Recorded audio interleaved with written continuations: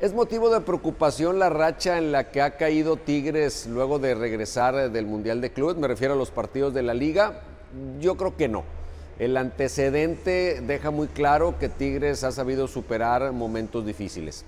Es evidente que a medida que pase el tiempo, la base del plantel va a requerir una renovación y que no porque muchas veces haya salido adelante siempre sucederá pero las probabilidades de que el equipo retome el paso, de que el equipo cierre mejor, de que vaya subsanando los errores, las faltas de concentración, los detalles que han surgido y que no le han permitido sumar los puntos que debería tener el cuadro de Ferretti, definitivamente van a pasarse. El equipo tiene recursos, tanto en los jugadores como en el aspecto mental, para corregir el rumbo.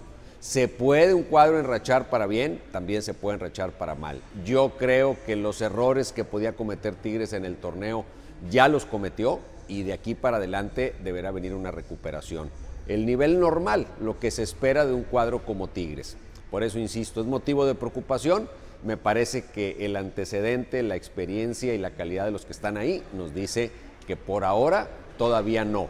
Habrá que ver a mediano y largo plazo, pero por ahora creo que Tigres saldrá adelante. ¿Usted qué opina? Vamos a platicarlo. Mientras tanto, le digo que estoy aquí en Chevrolet Tech junto a este Beat Sedan 2021, un vehículo maravilloso. Hay diferentes planes de financiamiento, por ejemplo, con enganches desde 22,120 pesos o también puede elegir planes con mensualidades desde 3,365 pesos. Además, le incluye un año de seguro gratis y 0% comisión por apertura. Véngase con los expertos Eugenio Garzazada, frente al tecnológico Chevrolet Tech. Lo esperamos.